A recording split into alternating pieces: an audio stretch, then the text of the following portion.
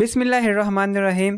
Health support کے دوستو، السلام علیکم۔ ناظرین، اگر آپ کے سالے میں نمک زیادہ ہو جائے اور آپ بھی چاہتے ہو کہ کھانا ضائع بھی نہ ہو اور نمک بھی کم ہو جائے، تو آپ سے گزارش ہے اس ویڈیو کو آخر تک دیکھیں۔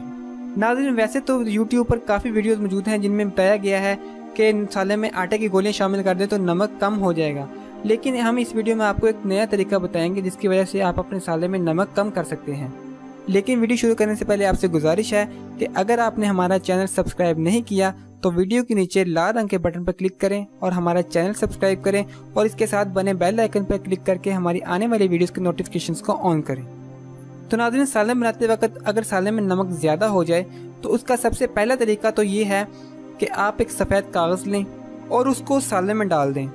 وہ کاغذ کا ٹکڑا سالن میں سے سارا نمک چوس لے گا اور آپ کے سالن کا نمک کم ہو جائے گا۔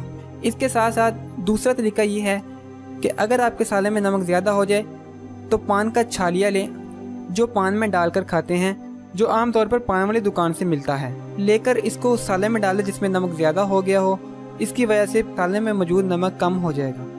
تو ناظرین، ان دو طریقوں کی وجہ سے آپ اپنے سالے کا نمک کم کر سکتے ہیں۔ ان میں سے سب سے بہتر طریقہ وہ ہے جو ہم نے آپ کو پہلے بتایا ہے، جو کہ آپ بالکل آسانی سے اپنے گھر پہ کر سکتے ہیں۔ تو ہم امید کرتے ہیں کہ آپ کو یہ ویڈیو پسند آئی ہوگی اور اگر آپ کو یہ ویڈیو پسند آئی ہے تو اسے دوستوں کے ساتھ شیئر بھی کریں، لائک بھی کریں اور ہمارا چینل سبسکرائب بھی کریں۔ میں ملتا ہوں آپ سے کسی نئے ویڈیو کے ساتھ، تب تک کے لیے اللہ حافظ۔